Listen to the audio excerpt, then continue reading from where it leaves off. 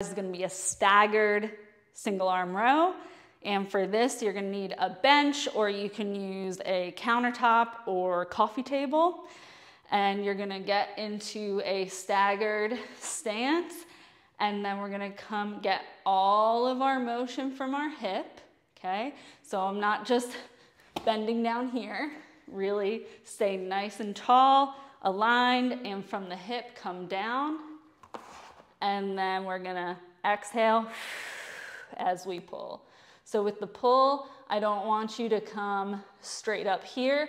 Think of it almost a little bit back and then up. And then the other thing is the leg that's back is the arm that's working. So on this side, we would switch.